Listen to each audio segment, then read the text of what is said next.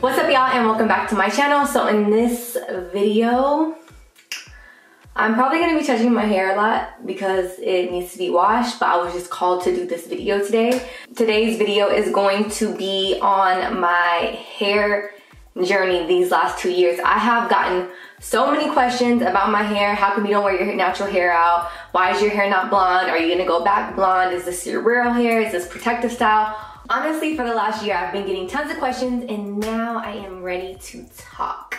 So, so this all started in like September 2018. I was super, super, super, super blonde like super blonde. Looking back, I'm like, sis, that was not it. You need some dimension in there, but that's a whole nother story. So September 2018, it was that time of the month. And I was that person around my cycle where sometimes I would just wake up and be like, I hate my hair. Let me not, let me rephrase that. I would just be inspired to change something physically around that time of the month. So this time it was definitely my hair. So September 2018, I decided to touch up my roots because as you can see in these photos, when my hair was in a good place, my roots were not. So I decided to touch up my hair. And when I touched up my hair, my I had hot roots, meaning my roots were super light, but like the middle was orange. So me being me, not practicing what I was preaching, I decided to process my hair again. And because I was irritable and I was on edge already because the hormones were not balanced back then, um, I processed my hair a third time. And when I processed my hair a third time, it came out okay, but I was like, whatever. Um, I ended up toning it, my hair was great. I even filmed the process. Video never went up because what's about to happen next is tragic. So my hair was fine, deep conditioned for a few days, steamed for a few days, just normal routine. And then um, I went about my hair journey. Like I was making my, my hair was curly, it still had great volume, there was nothing really visibly wrong. Um, but I was definitely working a lot. October, November, and December of 2018, I had so much work um, that I was doing kind of behind the scenes and I was doing a lot of commercial work. Um, so traveling, styling, going to different people, touching my hair was just a lot going on at once. So I'm in the shower and like, it's probably like November. Um, I'm in the shower minding my business, washing my hair, and I'm washing it, and a glob of hair literally fell out in my hand. And I'm like, dang, like I need to detangle a little bit better. Another glob came out and I was like, what the heck is wrong with my hair? Did I try like a bad product? And then you guys know like the DevaCurl thing, all of that was coming out. So I was like, oh my God, do I have to stop using my super cream? Like, I didn't know really what was going on. I wanted to take a quick little break to tell you about today's video sponsor. As you guys know, I'm all about self care, and one of my favorite ways to give myself self care is to learn how to be more mindful, unlearn bad habits, and relearn things that charge up my aura. Audible has a plus catalog with thousands of audiobooks, podcasts, guided fitness, and meditation programs, as well as sleep tracks to help you get better rest all included in your membership. If you don't love what you chose, you can always swap it out and you get one credit every single month. And if you don't happen to be ready to move on from the audiobook, podcast, or guided meditation that you picked in the previous month, your credits save up for a whole year. And with the holidays coming up, Audible is offering a new membership plan for just $4.95 a month for the first six months, and after that, you just pay $7.95. But you can try Audible for free today when you go to www.audible.com slash findguru or text findguru to 500 500 within your first 30 days. Now let's go ahead and get back to this horror hair story. I'm noticing that kind of like every time that I shower, hair is coming out by like the chunks. Chunks and chunks and chunks of hair was coming out. And then by December, by January of 2019, I'm like, okay, can bleach hair fallout delay months after, or is this a product? I just took the L because I knew I did something I was not supposed to do. And I'm gonna blame this whole thing on me just over processing my hair when I tell you guys to be patient and not over process your hair. I didn't listen to myself and here I am with like chunks of hair falling out. And at this point, my ego is on 10. I'm like, I know how to bleach my hair. I've been bleaching my hair for years. Like, what the heck is, like, what did you do? You're like, why did you do that? Why couldn't you just be patient? Um, so no big deal. Did I chop my hair? No. Did I trim my hair? Barely. What did I do? I was like, you know what? I'm gonna just braid it up, put some oils in it, and it's gonna be fine. So around this time is when you guys started seeing me wear more wigs in my videos. And I had this blonde wig and I loved it. It was popping, so like no big deal. I just hid my hair under. Um, so basically I was using wigs and oils and protective styles during this time to basically revive my hair back. But there was no reviving because my hair was literally falling, like all of my hair fell out in kind of different patches. Um, and I, like I said, I was not committed to doing a big chop because I just knew my hair was gonna magically fix itself. So around this time, protective styles became harder to do because I couldn't use curly clip-ins because my roots were growing out so much. And then, you know, it's just harder to blend curly hair, let alone blonde curly hair for protective style. So I started experimenting and I started spraying my roots or spraying my ends with the L'Oreal Touch Up Spray, which you guys have seen me use in some of my videos. Um, they have a little pin where I used to like fade out my hair and just put my hair in a bun. Then I had a sponsored post that I had to do for NYX and the photos that I took before, I hated them. Like I hated them because my hair was just like, sis, you effed up and you not accepting it. So I'm gonna show you that this was you. So my hair was trash. So I was like, oh my God, what am I supposed to do? I'm supposed to take a picture. I'm like in this campaign and everything. So around this time is when I decided to fully spray my roots and then I just grabbed like a bundle that I had and wrapped the bundle around and this is how I got this picture.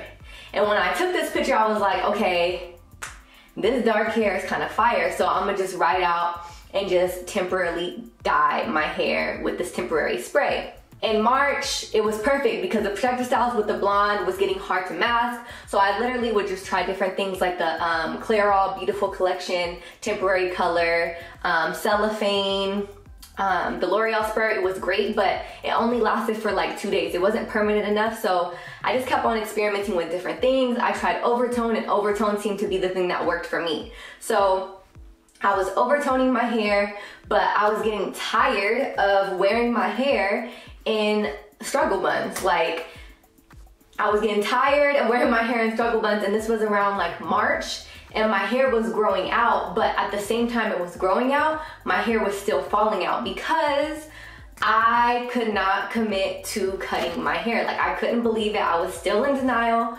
months later. But by the time March hit, my hair was literally the shortest probably it's ever been. Even before I started my hair journey, which you can see my hair journey and I'll link it down below. But my hair was so short, so I was like, you know what? I'm getting tired of these buns, I'm getting tired of these braids, getting tired of this blonde wig.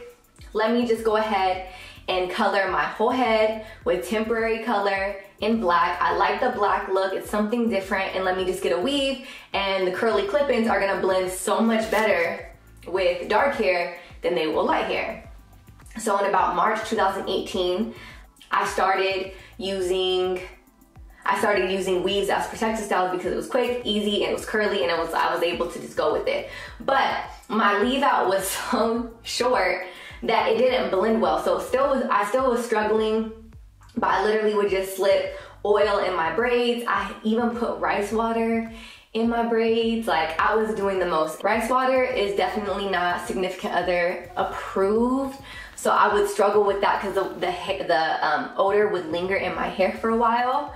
But nonetheless, my hair was actually growing. At this point in like March, April, I actually trimmed my hair and I kind of just accepted it and was like, you know what, you're gonna do protective styles anyways. You're putting your hair in weaves anyway, so just trim it so that when you take it down, the split ends don't go up and it basically reverses your growth. did that to an extent, but definitely didn't chop my hair off. I had like little tails of blonde and like patches of where it was long and short and it was just a hot mess. So in between weaves, I would rice water my hair OD. Um, during the weaves, I would put castor oil on my hair and then I would also steam my hair with my hair steamer that I talk about and that I love. So July came around in 2019. I, was getting bored of my dark hair and my leave out wasn't blending. So I was like, you know what? If I bleach this, this curly hair to be brown, it'll be a little bit more wavy. It'll match with my hair and it'll just be easier. Did not match with my hair. So what did I do like a dum-dum? I bleached that part of my hair and that's how you can see here. So this piece, these pieces right here that are light are the pieces from my weave that I bleached in 2019. But you can see, because I did my whole perimeter and then my leave out here. Like, this completely grew out. So it completely, completely grew out. And I trimmed it in between that, that time. My hair didn't blend because it was short and when I bleached the 20 inch, like it was really long. So it was like my hair was coming up to here and then the 20 was here. So it was just a hot mess. And then on top of that, some of the hair I was getting like was trash. It's great for clip-ins because I've used it for clip-ins before, but using it as a weave was absolutely terrible. I had a whole video on this hair company that y'all all know about and the hair weave was terrible. Um, it literally was like matting up and it just was a hot mess. So to be honest, my whole hair story was under construction for literally like a year. At this point, I literally am chopping my hair, dusting my hair, um, like in between time. I didn't record it because some of it wasn't like enough to record, but I would just dust my hair frequently. My hair was finally growing. Now at this point, I was kind of tired of um, using rice water because it stunk so bad.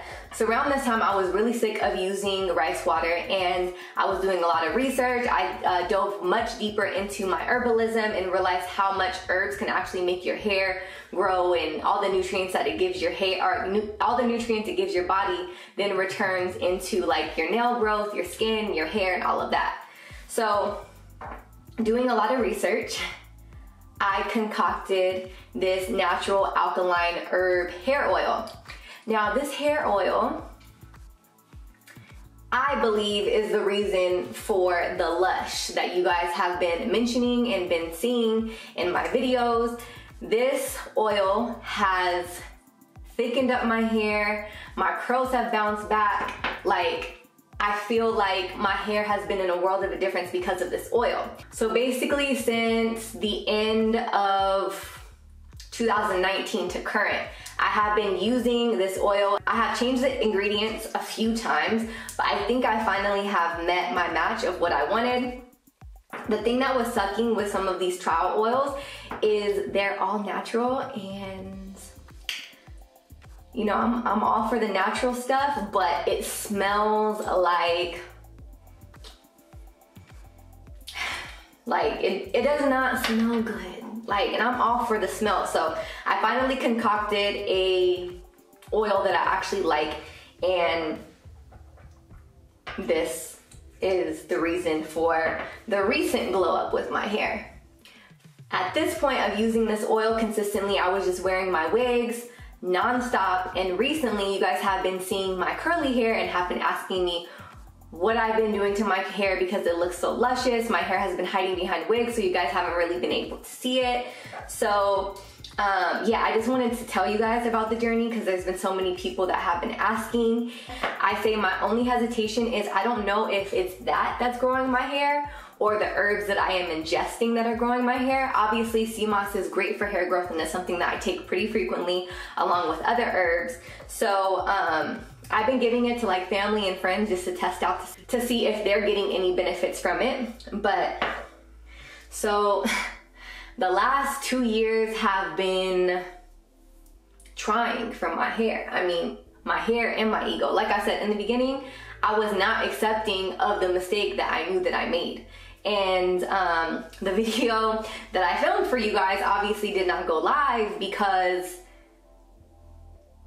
my hair literally fell out. Um, so as of right now, um, I'm not really sure what I'm gonna do with my hair next. I'm definitely really, really, really, really, really missing my blonde hair and I'm itching to do it a little bit lighter. I just wanted to show y'all what I've been going through because it's been a whole lot, like a whole, a whole lot. But I'm definitely happy that I'm here. And um, I'm also grateful because it's made me learn more about herbs and how we can honestly drink and eat our hair nutrients as well as other nutrients that make our hair grow and make our hair stronger. So yeah, that's my little current hair story and my hair journey.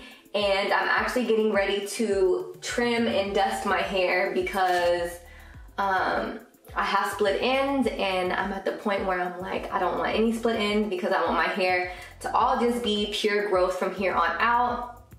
As you guys can see here, I have little to no blonde left. So it's taken about like a year and a half for this blonde to completely, completely, completely grow out. So my hair definitely has grown super, super fast. Um, now it's mainly about retaining the growth that I had because granted, I promise you if I would have big chopped my hair or just trimmed my hair in the beginning, my hair would probably be triple the length that it is now.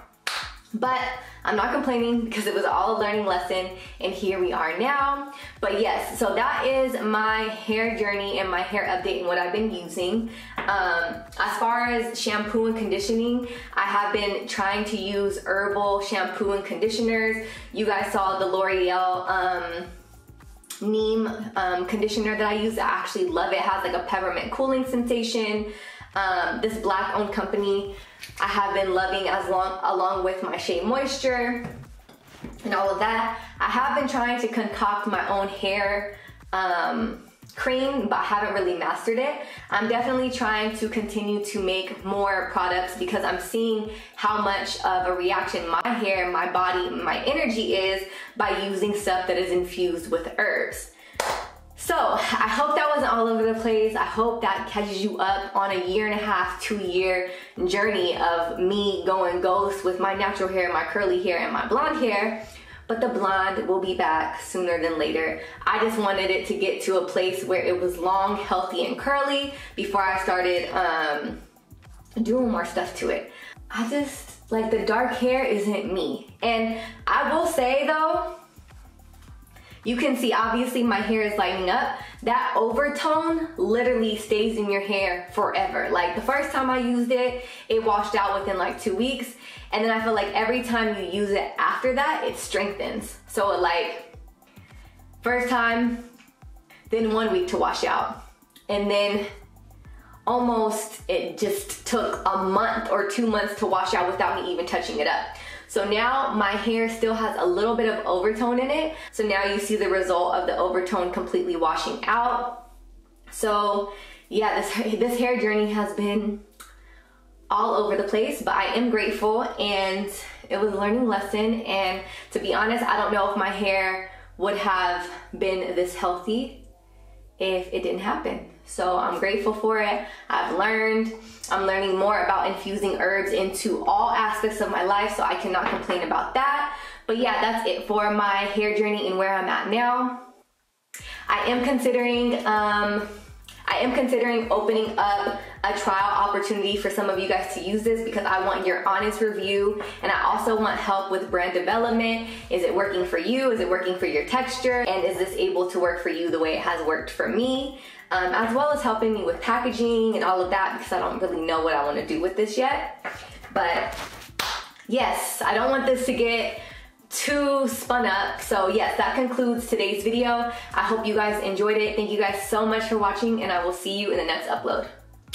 Bisous!